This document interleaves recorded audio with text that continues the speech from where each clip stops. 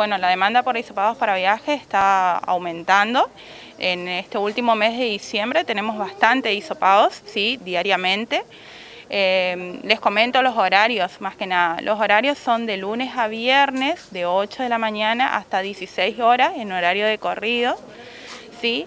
Lo que siempre yo recomiendo a los pacientes que vengan o las personas que requieran para viajar, que se acercan y nos comenten cómo, cuándo viajan, para coordinar también hay algunos que viajan al exterior, entonces necesitamos coordinar el tiempo y el horario para poder entregarle los resultados.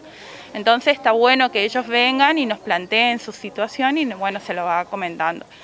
No solamente obviamente atendemos a los viajeros, que la demanda ha crecido mucho, sino también a muchas personas que necesitan para cirugía, para atención médica y demás, bueno, o un acompañante que va de un paciente internado, ¿sí?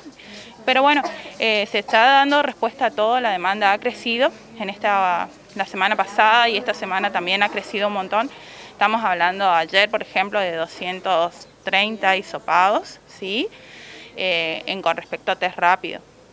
Y PCR hemos hecho casi 100, ¿sí?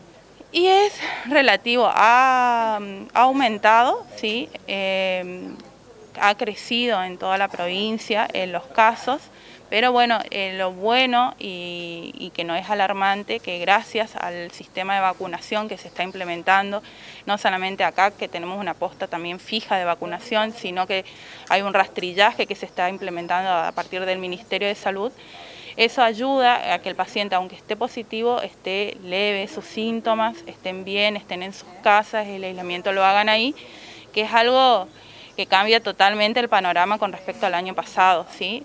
Entonces, por eso insistimos y acá también se puso esa posta de vacunación para que aquel que viaja además ya ir completando los esquemas y aquel que no lo tenga también empiece a iniciar ese esquema de vacunación.